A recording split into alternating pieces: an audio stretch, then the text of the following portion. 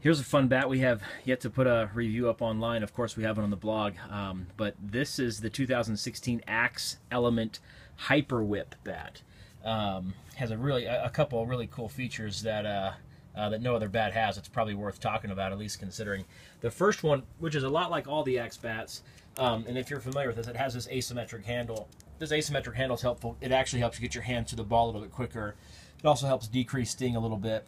Um, for those of you who have uh, swung it, you know what I mean. We have a couple reviews and uh, there's some videos online that talk about it, but but it, re it really does work. It's a little bit, and I don't want to say awkward, but it, it, does take you know I would say 10 to 20 hacks to get used to it. But once you start swinging with one, you think, wait a second, how, how come all bats are not like this? And it's actually a really good question. Um, how come all bats aren't like that? But they actually have a little insert inside of here. If you were to take the wrap off, you could see it, but but it's an asymmetric handle um, compared to last year's uh, 2015 version. They didn't upgrade much, at least by way of the handle. They do have a, a, some new uh, sort of synthetic piece down here on the bottom, um, which helps a little bit with hand sting. We found it to work just fine. Um, compared to last year, we don't know if we noticed much of a difference, but, but it is a little bit different. Um, although, again, it's still asymmetric, so it's exactly the same. Where the real changes happen, this is a one-piece alloy bat.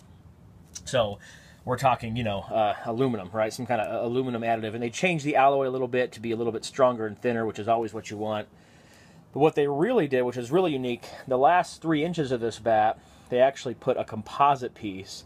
So it's actually composite for about three inches, and then the rest is aluminum. Now that that officially does not make it a two-piece bat, although if you're trying to learn the terminology, you would think it would, but it really doesn't. Um, but ultimately, there is a composite piece that helps take the weight out of the, the end of the bat, push it more towards the hands, the, the, the balance point down here more, without actually affecting the size of the barrel.